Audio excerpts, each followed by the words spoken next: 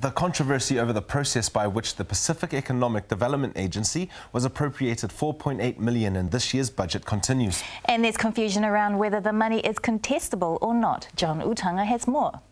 Mr Speaker, it's the issue that just won't go away. He said the $4.8 million appropriated to the Pacific Economic Development Agency would be contestable.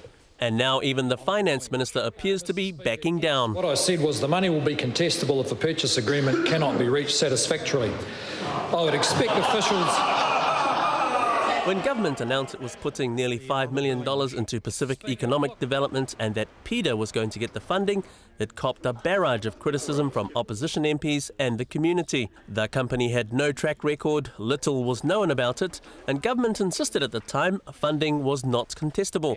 However, when a leaked report raised serious concern by the Ministry of Pacific Islands Affairs over PEDA's suitability as a provider, the finance minister was drawn into the debate. There's been significant concerns that have come from our community about who was this organisation and why was it that there appeared to be some special treatment given to the organisation with, with $4.8 million. In recent weeks, government's stance on PEDA appears to have changed. It now says the funding was never earmarked for them in the first place. They were never allocated the funding as such.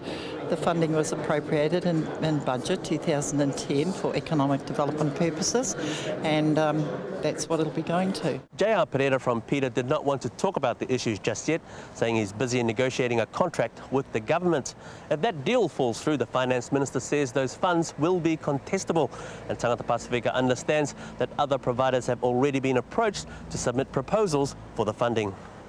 The Ministry of Pacific Islands Affairs will monitor the contract once an agreement is in place. That could take up to another two months, even though the money is available from the 1st of July.